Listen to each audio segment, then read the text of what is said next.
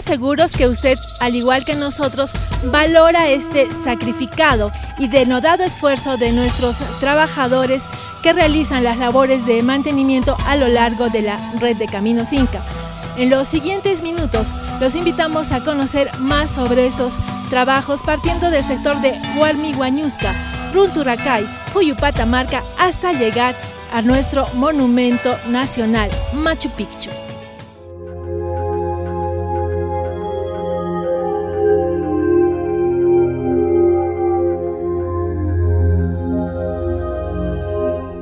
Luego de conocer Paucarcancha y tras retornar hacia Guayabamba, emprendemos el ascenso hacia el puesto de control de Yuyuchapampa, ubicado a medio camino de subida.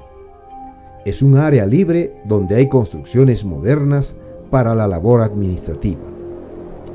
Desde aquí comienza el ascenso hacia la gélida Puna para transponer las elevadas montañas por el Abra de Huarmihuañusca. El camino empedrado serpentea en medio de pajonales que silban al compás de los vientos, mientras la llovizna y la neblina continuamente nos advierten que estamos transitando por sus dominios. Viendo el camino en sentido contrario, los puntos verdes que ascienden son los primeros turistas que ingresaron al camino inca el primer día del mes de marzo, luego de un mes de cierre para facilitar el trabajo de mantenimiento. El camino inca tiene su punto más alto en Huarmihuañusca, a 4.332 metros de altitud, donde los caminantes descansan merecidamente luego de la prolongada y agotadora caminata. Superando el Abra, nuestros drones nos muestran el camino de bajada hacia Pacaimayo Alto, un sendero exquisitamente trabajado en piedra que poco a poco nos conduce hacia la parte baja. En estas alturas, el frío remece músculos, órganos y huesos. Sin embargo, el colosal paisaje que nos acerca a las deidades incas calma cualquier síntoma y nos transporta a la morada de los dioses andinos, que parecen mirarnos desde las alturas insondables.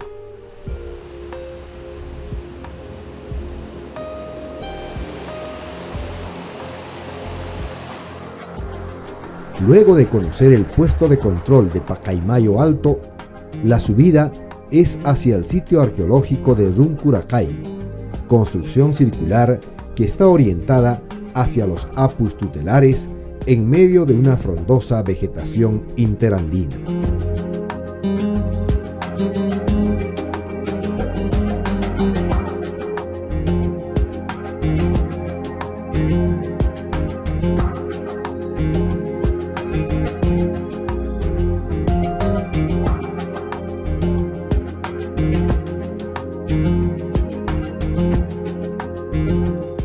Bueno, las actividades fundamentalmente que realizamos en la red de Camino Inca anualmente, para ello contamos con un equipo de profesionales y personal conservador. Tenemos personal, lo que es controlador, en los puestos de control. Tenemos personal orientador. Tenemos personal, lo que es, son supervisores, son arqueólogos, que son asistentes, permanentemente hacen trabajo de monitoreo, de supervisión en los tramos, en los puestos de control ¿Para qué? Continúan sus funciones el personal. Tenemos personal de vigilancia en los puestos de control. En la red de Camino Inca contamos con 16 puestos de control, la cual están organizados debidamente un promedio de 5 o 6 personas por puestos de control. Y cada uno tiene un coordinador de trabajo para poder realizar nuestras acciones mensualmente. En total, tenemos personal controlador nueve controladores. Tenemos tres orientadores. Tenemos tres supervisores, que son arqueólogos en la red de Camininca. Tenemos un personal responsable del almacén. Tenemos un personal, lo que es la parte administrativa. Tenemos personal vigilancia, 38 obreros, conservadores. Tenemos 57 técnico personal conservador que realizan diariamente el mantenimiento de monumentos, conjuntos arqueológicos, esos asociados.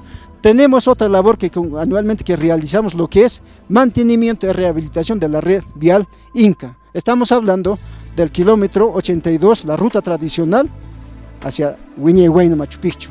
La otra ruta que tenemos, lo que es de 104 a por Chachabamba, camino a Huiñehuayna. La otra ruta que tenemos, lo que es de Lucmabamba a Llactapata, que prolonga hidroeléctrica luego a Ciudadela, Inca, Machu Picchu. La otra ruta que tenemos, la ruta Mollepata, que es hacia Salcantay, que proyecta a Paucarcancha, luego se une en Huellabamba. Todas estas actividades que realizamos nuestro personal en la red de Camino Inca, bajo a mi responsabilidad.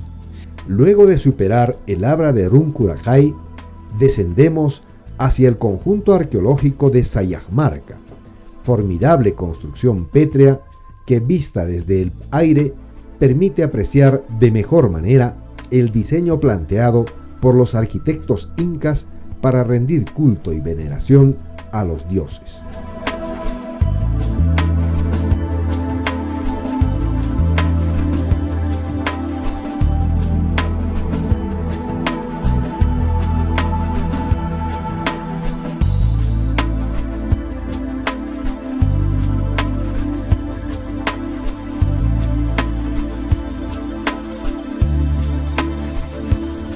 En el periplo por el camino Inca apreciamos la cadena de montañas que rodean a Machu Picchu, las cuales parecen pugnar por acercarse a la morada del Taita Inti en abierta competencia con las nubes y los vientos. El camino Inca nos lleva hacia Puyu Patamarca, edificación que caprichosamente parece desafiar a las profundas quebradas y se eleva imponente en medio de la geografía. Sus recintos circulares, sus andenes ondulantes y los canales de agua forman una excelsa armonía arquitectónica que solamente los incas podían heredarle al mundo.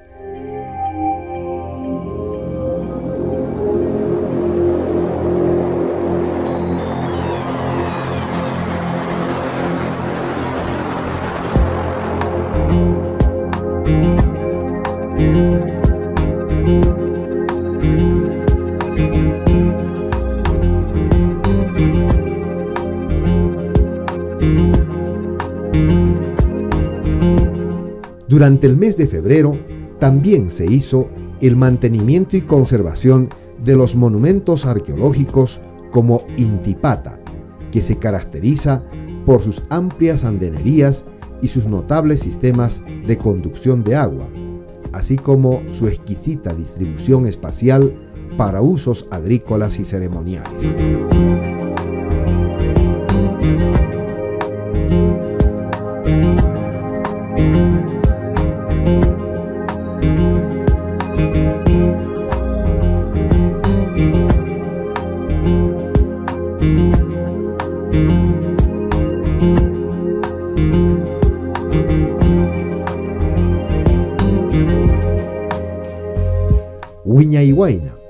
Es otro monumento que además presenta hermosas construcciones, como callancas de elevados muros, recintos rectangulares y lugares ceremoniales trabajados a la perfección.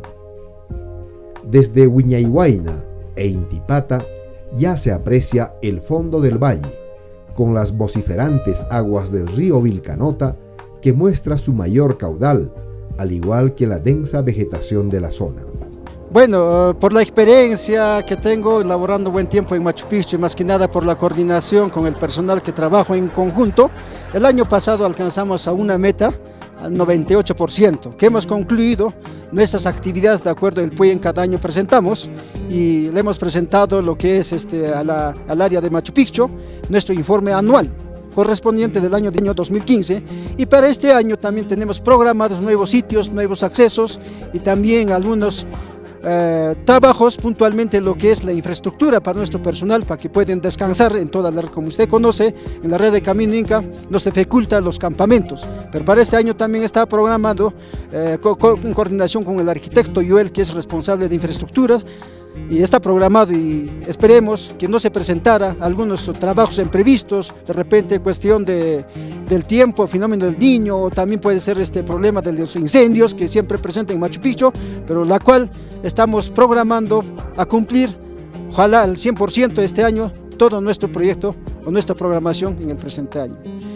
Finalmente también debo agradecer al director de nuestra institución Dirección Desconcentrada de Cultura Cusco y a la plana profesionales que nos apoye en coordinaciones en las atenciones necesarias para la ejecución de los trabajos en la red de Camininca del Parque Arqueológico Machu Picchu.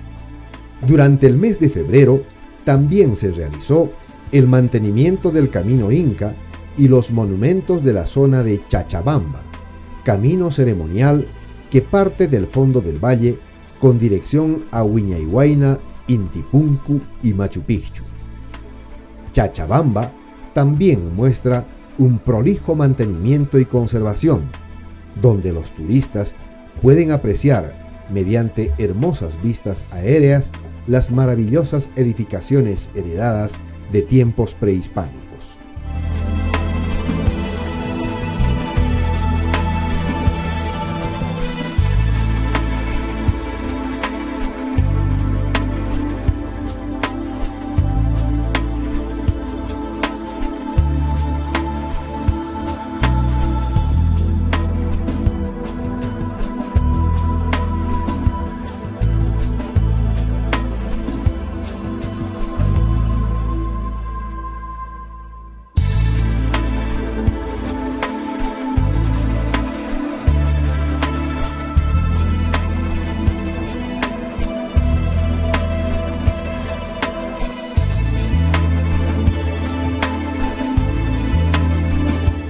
La red de caminos Inca de Machu Picchu es una de las mayores atracciones turísticas del Cusco y del Perú.